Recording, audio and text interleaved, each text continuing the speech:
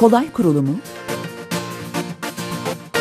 hem elektrikli hem de tüple çalışır olması, multi cooking sistemiyle iki pişirimi aynı enerjiyle pişirmesi, servis takımlarıyla beklemeden servis yapabilmesi, ısınma, aydınlatma ihtiyaçlarını karşılaması, kolay temizliği için çıkarılabilen pişirme aparatlarıyla Olympus Komple Mutfak hayatınıza dünyanın kolaylığını sunuyor. Efendim merhabalar sevgili izleyenlerim. Hoş geldiniz, sefalar getirdiniz. Hepinize sevgiler, saygılar sunuyorum sevgili izleyenlerim. Evet efendim neler hazırlayacağız bugün? Neler var? Evet bir tane şöleli muz tatlımız var burada.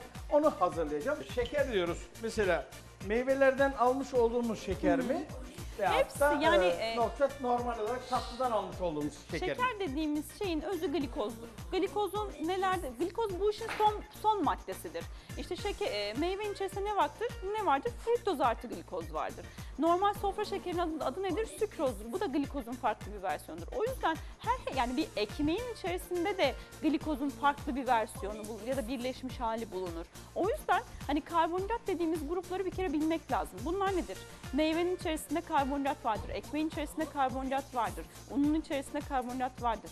Ee, kuru baklagillerin içerisinde hem protein hem karbonhidrat vardır. Yani bu besinleri belirli miktarlarda tükettiğiniz takdirde ve bunu da yakmak için vücudunuzu çalıştırabildiğiniz takdirde bir zararı olmaz. Ama siz bunu e, yakamıyorsanız ya da belirli miktarın üstünde tüketiyorsanız işte orada problem başlar. Mesela bir muz. Şimdi muz doğruyorsunuz. O muzlar hemen hemen bir porsiyon meyveye eşdeğerdir. Ama bu, bu boyutta bir muz değil de daha hani ithal muzlardan günde iki tane hem de akşam saatlerinde yiyorsanız işte o size zarar verir. Ama bundan bir tane yiyip atıyorum sa- saat 10 gibi yiyip ya da akşam saat 8 gibi yediğinizde vücut onu zaten tolere eder. Eğer şeker hastasıysanız da muz tüketebilirsiniz. Ama hani muz yiyince yanında mutlaka fındık, ceviz, badem, süt, yoğurt, ayran veya kepekli grisini tüketirseniz eğer o muzun kana karışma hızını düşürür. Şimdi biz, biz yine karşı karşıya geldik seninle. Hayırdır? Ha, bak şimdi ben burada muzları doğradım. Ay. Muzları bir taraftan doğradıktan sonra bir taraftan da yağ, tereyağıyla sıvı yağ bir arada yakıyorum. Gözümü kapatmaya çalışıyorum şu an o tereyağı boyutuna. Çünkü hani dediğim gibi belir yani bunlar da şöyle tüketilebilir. Ben hani bu konuda çok katı davranmamaya çalışıyorum. Siz tabii ki tatlı tüketebilirsiniz. Bazen yağı ve şekeri bol bir tatlı da tüketebilirsiniz. Bunda problem yok. Ama ne kadar sıklıkla tükettiğiniz önemli. Her akşam oturup da bir tatlı yiyorsanız orada problem var demektir. Ama O sıkıntılı değil haftada, mi? Aynen haftada bir kere güzel bir tatlı yapıp bundan bir porsiyon tükettiğinizde o yağlı da olsa, şekerli de olsa, koca bir porsiyon da olsa bir sıkıntısı olmaz. Hiçbir zaman zayıflama hastalarıma tatlı verirken gidip de tatlandırıcılısını yiyin, yok light'ını yiyin demedim ben. Çünkü gerek yok. Haftada bir kere yiyin, istediğiniz bir tatlı yiyin. İstiyorsanız 3 dilim baklava yiyin ya da bir tane künefe yiyin ya da bir sufle yiyin. Ama haftada bunu bir kere yiyin. Şeker hastası olmadığı takdirde. Şimdi siz e, ben bunları e, zıt olarak yaptım bugün size. Hepsi yani bir arada. bunların üzerinde konuşmak açısından hı. ben bugün böyle tasarladım. Evet bakalım Muza ne diyecek diye Evet, evet yani şimdi burada e, insanların buna da ihtiyacı var. Evet yani. E, tabii ki ama belirli bir süre. Benim yani, Yani ölçülü olursa aynen. Haftada bir kere niye yenmesin? Yenir. evet. Hiçbir şey de olmaz. Ama dediğim gibi her gün yenirse orada problem oluşur.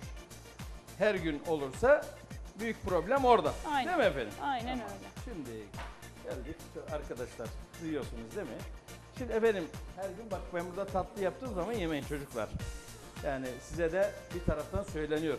Yani siz de kendinize çeki düzen verin. Fatih sen de e, epey oldun, e, epey oldun. E, onun için lütfen bir daha benim mutfağıma yaklaşmayın. E, ben her gün bir tatlı yapmak mecburiyetindeyim burada izleyicilerimiz açısından. Tabii onlar da evet, onlar da e, hazırlıyorlar böyle evlerinde misafirlerine, çocuklarına. E, tabii ki her gün olmaz. Ben de aynı şeyi söylüyorum. Her gün aynı yemek olmaz. Çeşitlendirirseniz bunu, değiştirirseniz daha iyi netice alırsınız sevgili izleyenlerim. Efendim birazcık sıvı yağ, birazcık tereyağı, içerisine bir bardaktan biraz fazla öğütülmüş fındık. Bunlar içerisine ilave ettik. İlave ettikten sonra da evet e, beslenmede fındığın, beslenmede tereyağının, sıvı yağının bunların ölçüleri nelerdir? Onlardan biraz bahsederseniz efendime söyleyeyim izleyicilerimize bilimsel bir iş yapmış oluruz her ikimiz birden. Evet. Şimdi fındık, ceviz, badem bunlar omega 3, omega 6, omega 9'dan zengin. Biri birinden zengin, biri diğerinden zengin ama hepsi bir kere e, önemli yağ asitlerinden zenginler. Bunlar kansere karşı koruyucu, bağışıklık kuvvetlendirici etkileri var. Bu yüzden de mutlaka beslenmemizde günde bir ölçü bulun, bulundurmak lazım. Peki bir ölçü nedir? Orada zaten olay kopuyor. Bir kilogram değil yani. Aynen öyle. Günde 10 tane fındık veya 10 tane badem veya 2 tam ceviz içi yenebilir. Ya da bunlar hani kişinin beslenme programına göre günde 2 ölçüye kadar hani ba- başka şeyler azaltılarak yerine konabilir. Ama hani tek seferde ben e, tavsiye ettiğim miktar 2 ceviz veya 10 fındık veya 10 bademden fazlası değil açık söylemek gerekirse. Bu tüketilebilir.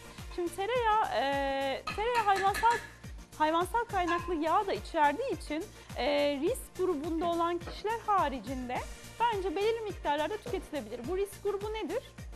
Kalp damar hastalığı ile ilgili sıkıntısı olanlar e, ya da hani çok yüksek kiloya sahip olan kişiler e, haricinde bence hani gün içerisinde e, kullandığımız yağın bir miktarını tereyağı olarak tüketebiliriz. Ama daha ağırlıklı olarak zeytinyağı, fındık yağı, ayçiçek yağı bunları belirli ölçüde karıştırarak tüketmekte fayda var. Mesela sabahları diyelim ki bir omlet yapacaksınız.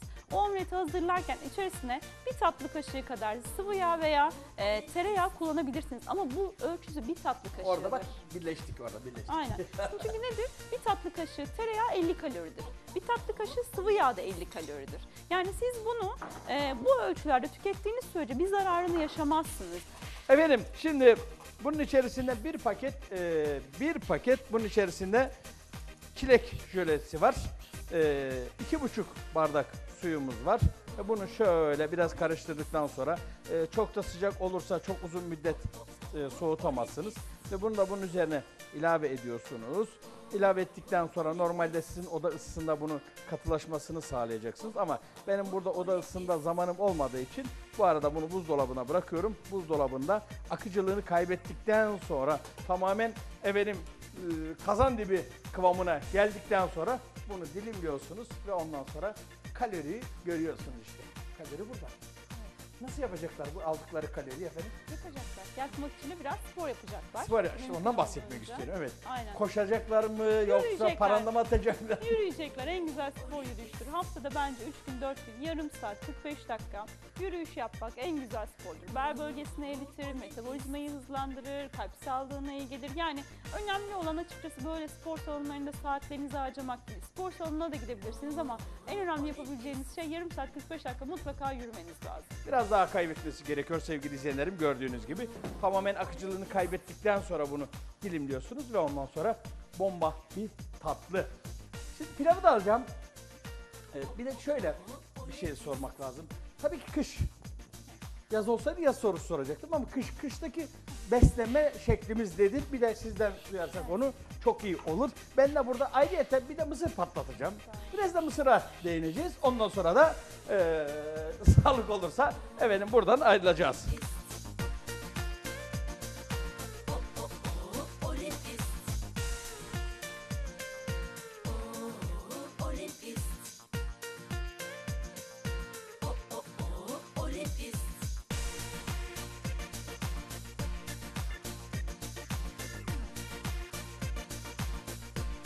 Efendim eee, tabii ki yine geldik bir programımızın sonuna.